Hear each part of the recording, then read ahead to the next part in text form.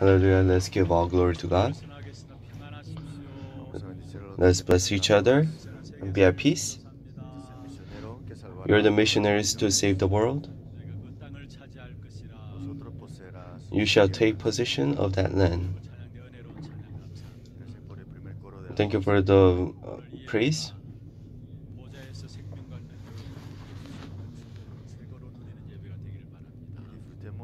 May this uh, worship be the worship where you, you receive the greatest blessings. As we live on, we face a lot of hardship. At that time, without us even knowing, we ask these kind of questions inside of us.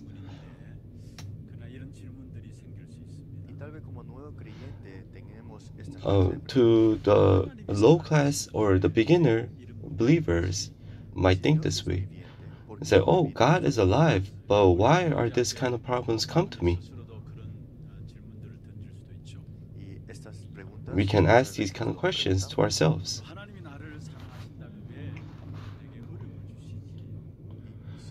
And again, oh, if God said He loves me, then why are these kind of hardships come to me?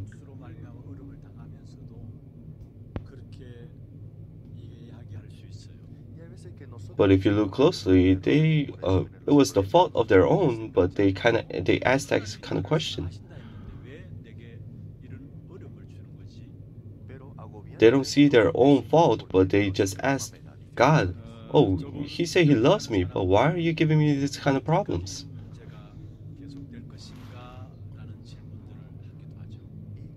And some people ask, "Oh, how? Until when is this problem going to last?"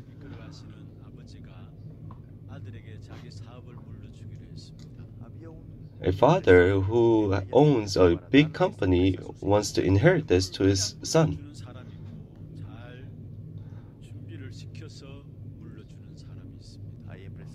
There is someone that just gives it to their children, but there is a, there is a person that just that uh, prepares them and then gives it uh, inherits it to them.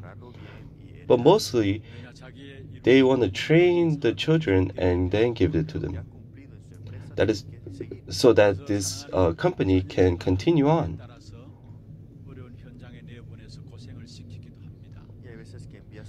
So they to train them, they will send off their children and make them face hardship. If you see in John 4:12, and said, I tell you the truth, anyone who has faith in me will do what I have been doing. He said, He will do even greater things. The things that God has given us isn't just given to us. It is given to us so that uh, we can receive training inside of that.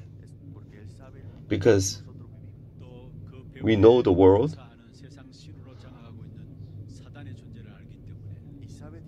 and because we know Satan that is uh, moving this world right now. Inside of all the problems and situations inside of our lives, God is training us.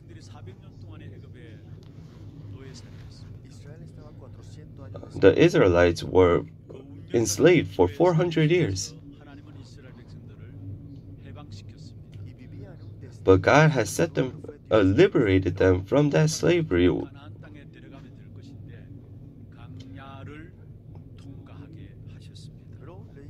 They could have just entered into the land of Canaan, but they had to go across the wilderness. Uh, it is a very dangerous place. The snakes come out and they were they were lacking water. But why did God make them cross cross this wilderness? It's not by coincidence.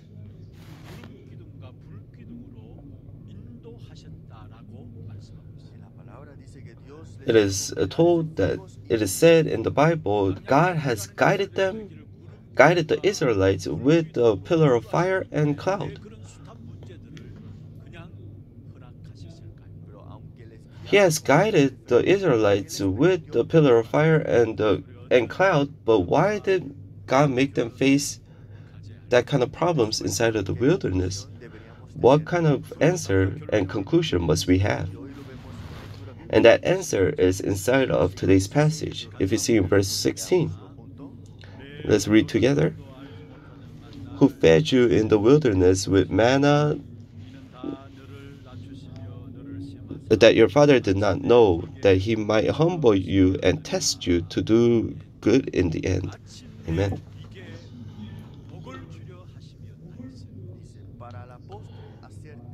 It is that he might humble you and test you to do good in the end.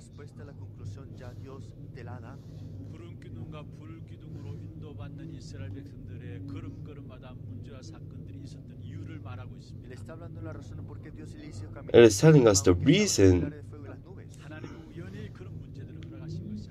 why He has given us this blessing.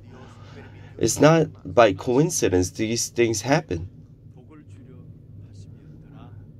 It says, Beware lest you say in your heart,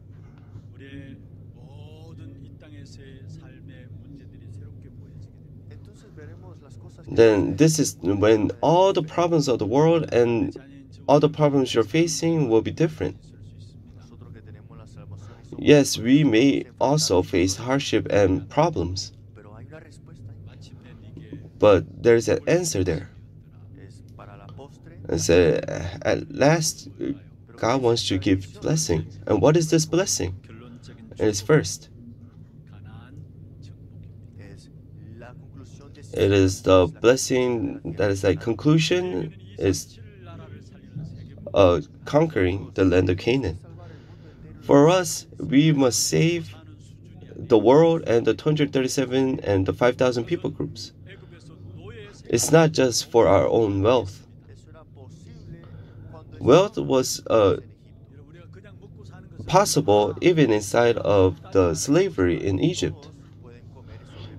All the people say they're facing hardship, but they all live on. When there were uh, when the Israelites were enslaved, they still lived on. If you see in Exodus 16, you can see that they say that they do not have anything to eat and they resent against God. And what is what was the point is if you see in Exodus I said,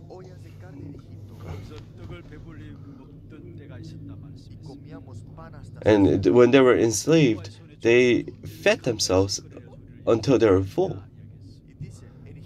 And, and they, they said, Oh, we could have lived on there, but why did you drag us out into the wilderness and try to kill us? And they were resenting. It is to save uh, myself that is uh, caught in the destiny of this world and is trying to save the church that is being mocked at. And it is to save the 237 nation, and that is why God is guiding us.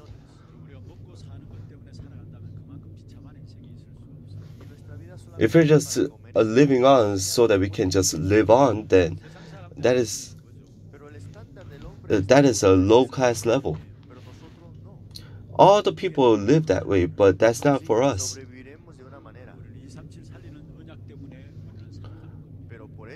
We live on to save uh, with for the covenant of saving the 237 nation.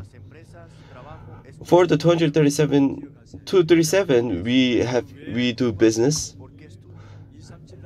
Why do we study?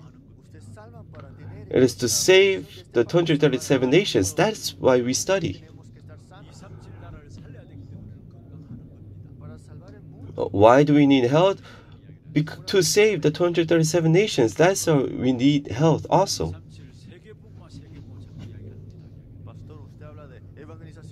And somebody said, oh,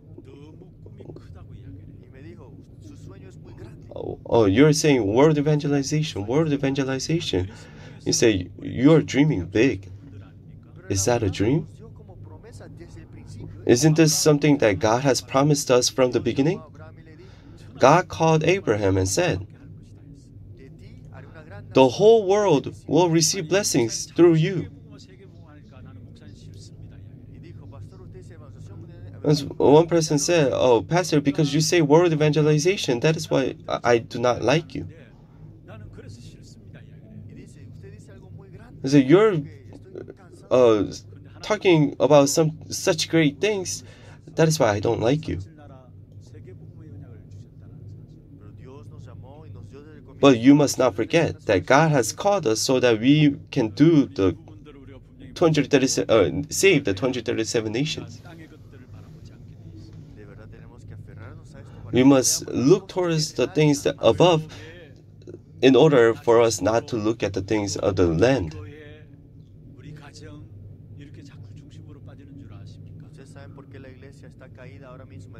People are saying, oh, we're falling into. Oh.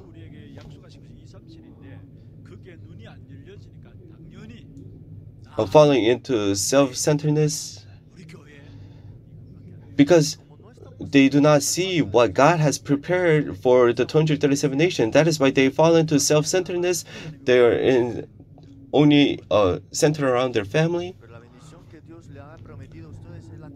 God told the Israelites to conquer the land of Canaan. And God's uh, covenant and God's plan is to save the 237 nations and world evangelization. And for that, God is guiding us.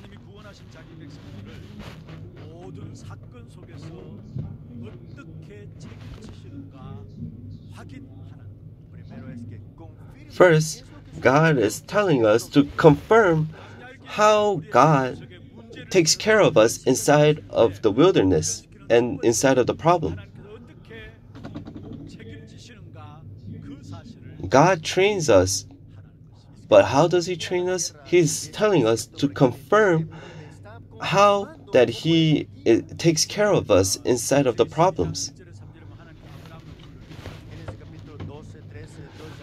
If you see in, Genesis, in the book of Genesis, God calls Abraham out. And as he was calling Abraham, he told what he must do.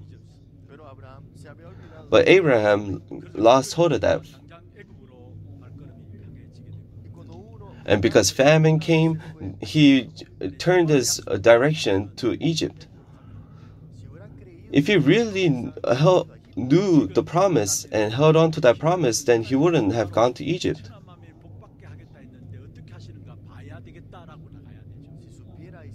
He must have said that, oh, there's a famine, or God said all nations will receive blessing through me. Then how is God going to lead me? That's what he must have said. But because uh, he did, he forgot about this when he was faced with the famine, that problem, he turned his way to Egypt.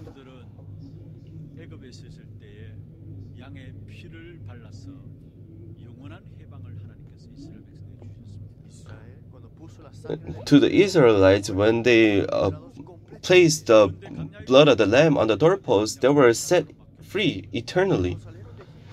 But as they were walking through the wilderness, they were faced with the Red Sea and they were faced with Jordan.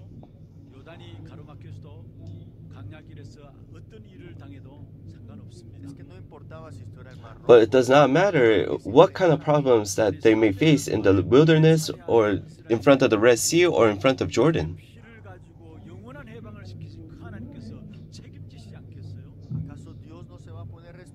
Will not God take care of them who has set them free eternally from Egypt? But how did the Israelites say? What, what did the Israelites say? The nature and the scars that were inside them for 400 years that came out and they resented and that in front of the red sea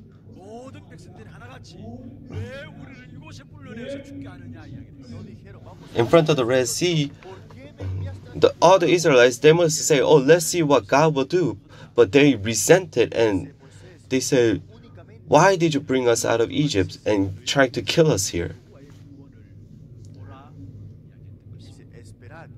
But that is why when Moses said, See the salvation of God that He will do. That is why wherever we go, we must hold on to the belief or the faith that God will take care of everything. Because they see the covenant uh, in a small, uh, as uh, as a little thing, and they see the problem in a greater thing. That is why they're always facing problems and hardship. All the problem is finished. In John 19:30, God said, Jesus said, Jesus promised to us staking his life. He said, I have finished everything. There's no problem.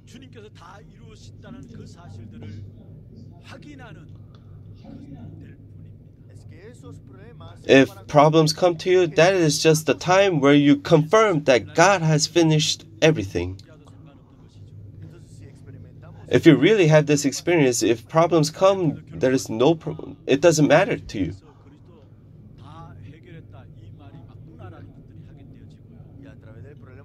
If problems come to you, you will be able to know that, oh, God has really finished everything. And that is when Christ becomes your Christ. That is when gospel becomes my gospel.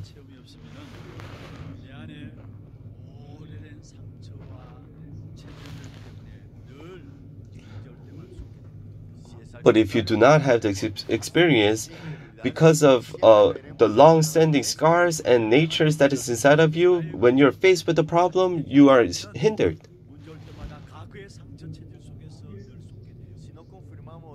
If Christ doesn't become my Christ and gospel does not become my gospel, then whenever problem comes, you are faced. Uh, when you're faced with the problem, you will be hindered.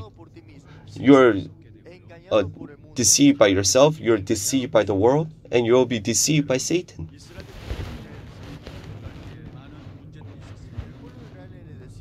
When the Israelites were going through the wilderness, they had a lot of problems.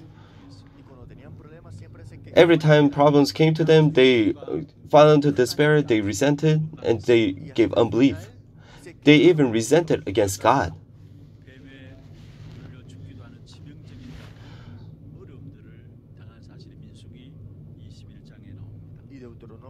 and they faced the critical pro- uh, critical pain of face uh, being bitten by a snake and dying, and that is saying in Numbers 21 5 through 6.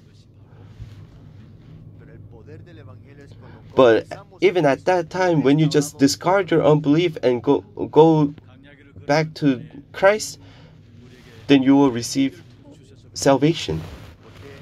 And second point, what kind of evidence will God give us through the problem?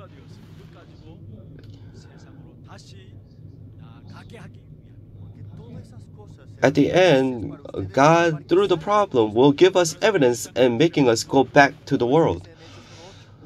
And that is why in Acts 1 8 it says, As but you will receive power when the Holy Spirit comes upon you, and you will become my witnesses in, to the ends of the earth.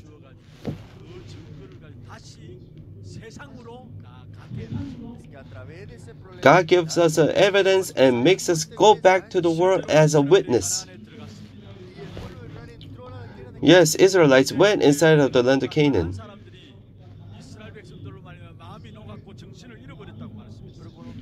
But the people in land in, in Canaan, they were all afraid of Israel of the Israelites, and they were their hearts melted. In jo- Joshua 5:1.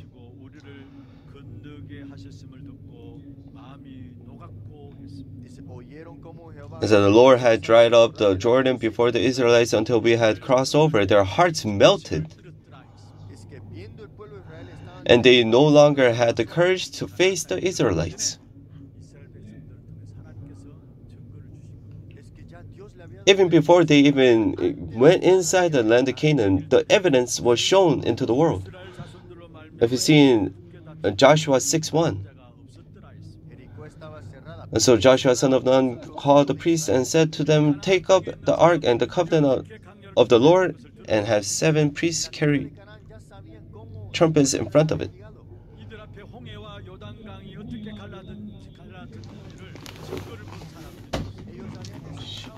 And these were the people who saw the evidence of Jordan. Are you faced with a problem? Then God will give you the evidence so that the world and even Satan can know. You do not fade, uh, you do not crumble because of the problem.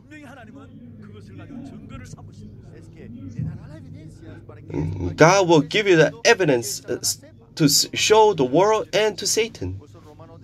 And that is why if you see in Romans 16 20, and the God of peace will soon crush Satan under your feet. That is that this means that God will show us the evidence to show Satan. If you see in Psalms 21 5, that you prepare a table before me in the presence of my enemies. He's saying they're preparing a feast for the enemies.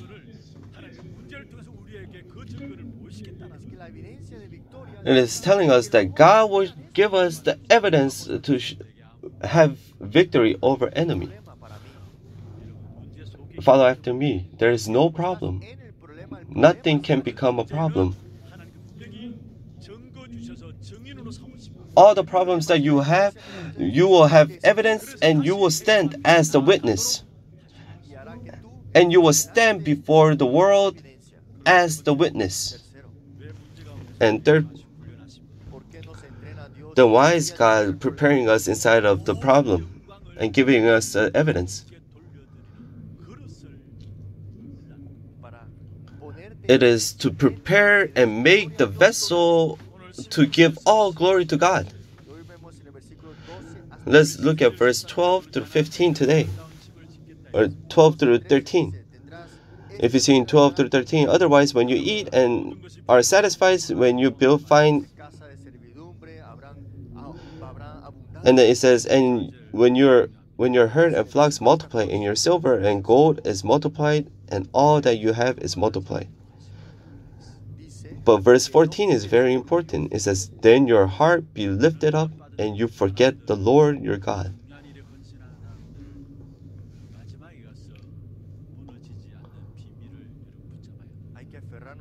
You must hold on to the mystery of not crumbling after success.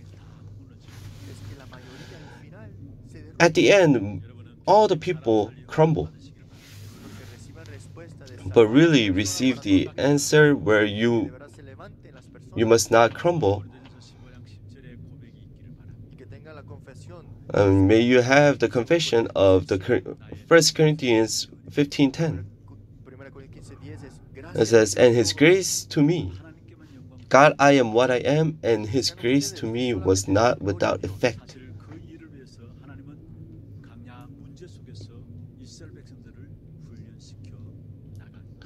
And this is why God has trained the Israelites inside of the wilderness. And second point, then what what is it that uh, we must hold on to as a conclusion and experience? The conclusion is said. It says, "I will give, I will give you blessing." Then what must we concentrate on? That is the nine settings. Uh, look inside of the bulletin. There is the nine settings inside of it. And this is what Jesus is telling us. If you really concentrate and have these nine settings, wherever you go, you will have victory.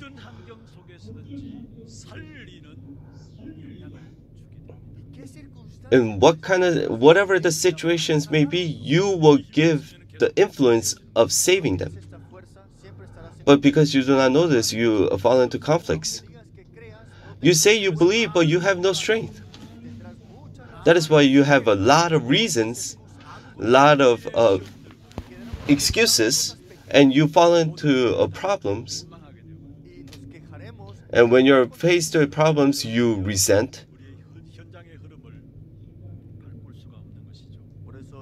That is why you cannot change the stream of the field.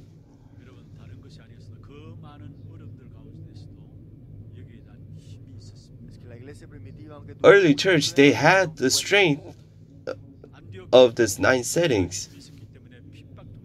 Be- even the Antioch church, they because they had the strength, that is why even they were persecuted, they had success.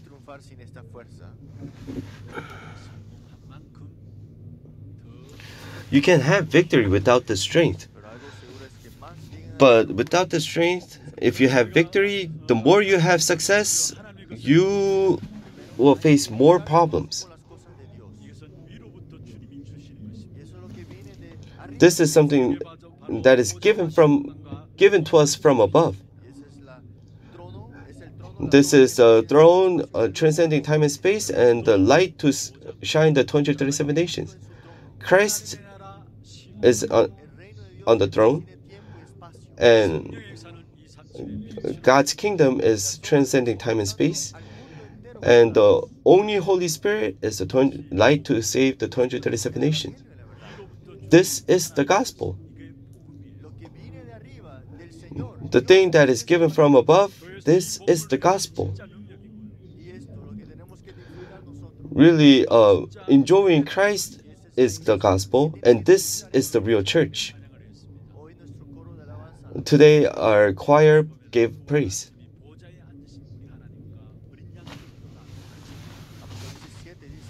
If you see in Revelation, in the book of Revelations, it says, The one that gives us salvation is seated on the throne. Yes, Christ is sitting on the throne. And he uh, he takes care of all the things of this world. And he gives us uh, what we need. And through the church, he is holding on to all of the works. And God is uh, leading the world evangelization, and the throne is the control tower for that work. And that is why this is the blessing of the throne. All the people uh, of the Bible, they all had this uh, and enjoyed this. And you can see that it is talking about the throne and angels in the inside the Bible. Why is it written? Why is that written inside the Bible? Is telling us to enjoy it.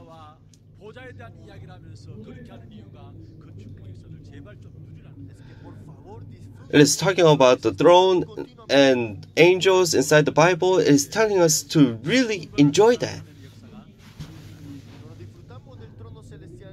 And that is when the power to transcend time and space will happen.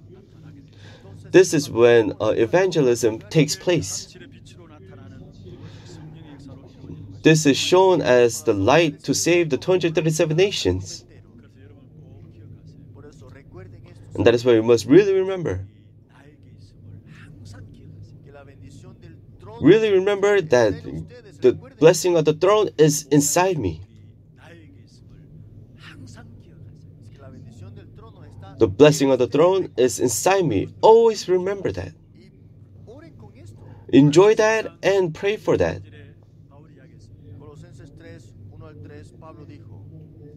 If you see in book of Colossians, it said Christ is seated on the right hand of God. And Paul said, look to the things above. Think of the things that is in heaven. Don't think of the things of this land.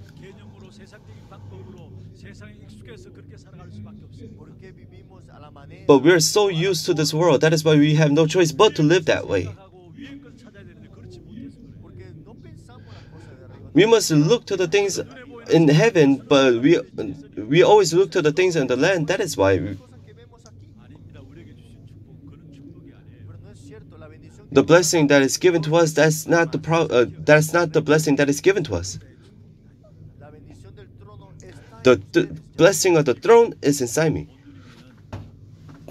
If you do not enjoy this, then you're just same as the un- unbeliever, and you're ju- you just live your life as an unbeliever.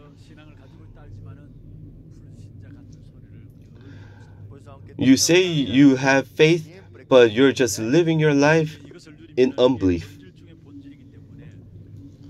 But if you really enjoy this, this is the essence of all essence. That is why problems do not become a problem to you.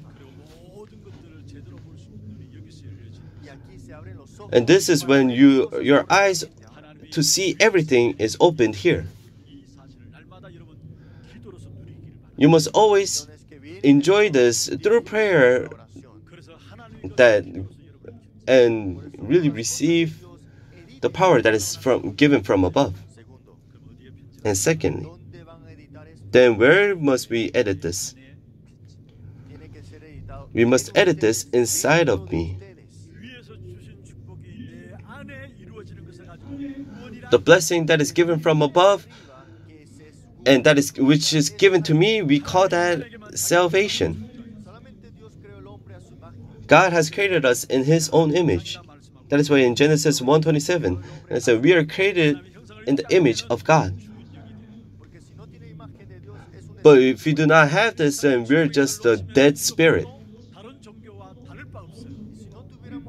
If we lose hold of this, then Christianity is same as all other religions.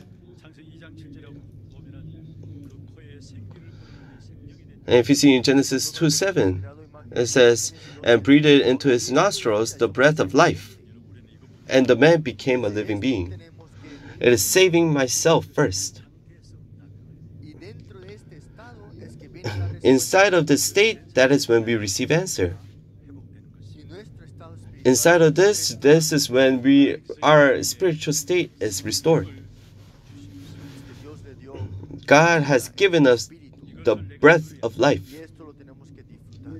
I, we must enjoy this. Human beings can give worship. That is because the Spirit of God is inside of me. That is why we can give worship. If you see in John 20 22. And with that, he breathed onto them and said, Receive the Holy Spirit. The same as Genesis 2 7.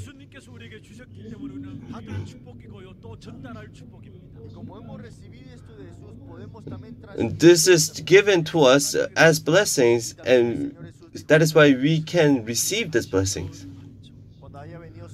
In, if you see in Acts 1 8, it said, But if when you receive power,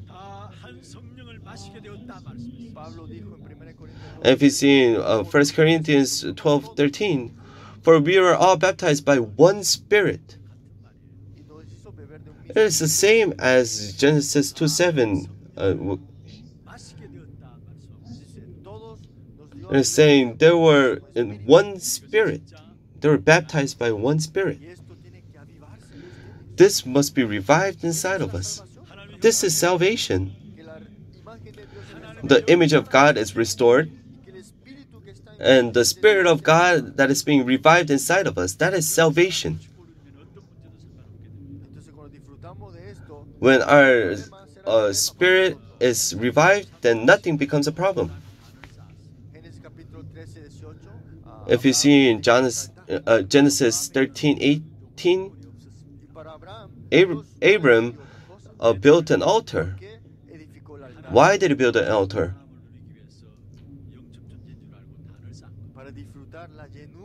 He built an altar knowing that he is a spiritual being to receive the spiritual strength.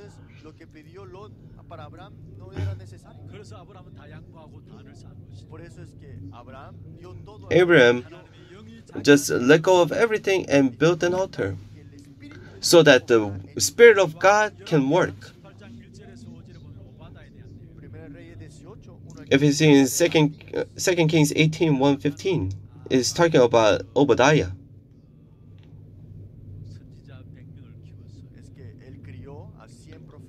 He uh, hit 100, 100 uh, priests. How can you do that kind of thing? Because he enjoyed the Spirit of God that is working inside of him.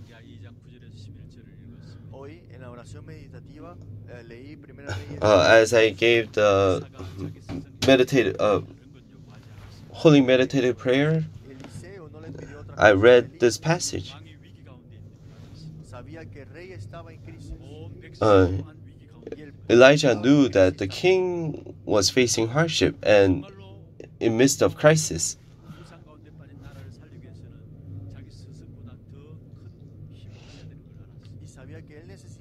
But that is why Elisha knew to save those people, he needed a greater strength than his uh, teacher.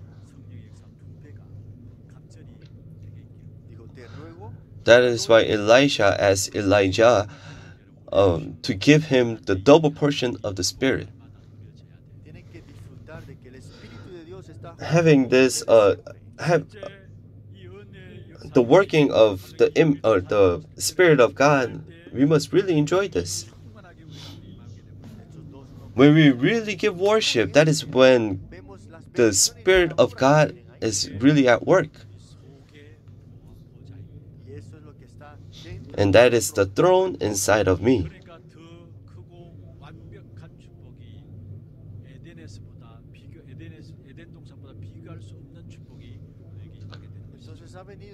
That is that is why we have a greater a blessing than the Garden of Eden inside of us. Third, the blessing that is given from above, or the grace that is given from above. That is the salvation that is inside of me. But it doesn't just end there. It is shown inside of the field where you can move the field. That is the throne. If something that is given from above, that is salvation. And the spirit that works inside of me, that is salvation. And this is shown as the blessing of the throne where you can move the field. And this uh, blessing is this is this blessing is called unprecedented and never repeated blessings.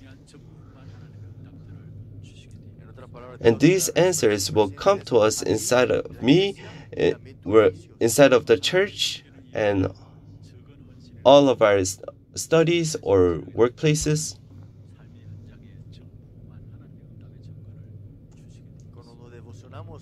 When we really receive uh, this grace that is given from above, we are given the answer of unprecedented and never repeated answers. If you do not enjoy this, then you will just be a slave to work and people and the world. If you do not know these nine settings, then you have no choice uh, but to just attend church and not receive anything. You must really have uh, the blessing on the throne, and He has placed this inside of our spirit, inside of our soul, and given us all these blessings.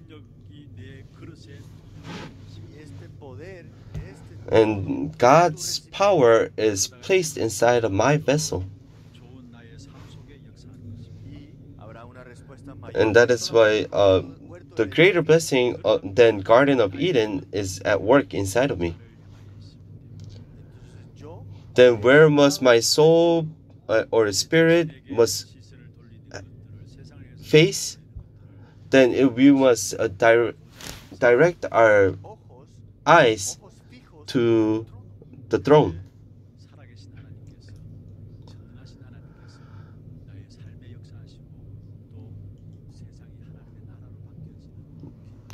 That is when God will be at work and we can receive the blessing that God is giving us. When I'm facing towards the throne, God has given us the uh, blessing to save the world. And this is connect this is the light that will shine the 237 nations and that will be shown through my life. I'll come to a conclusion. There are three types of uh, believers. There's a person that walked the walk of faith without knowing the conclusion and there is a person that know the conclusion. And there are people who hold on to that conclusion and in belief and believe. And receive the blessing. And enjoying that blessing.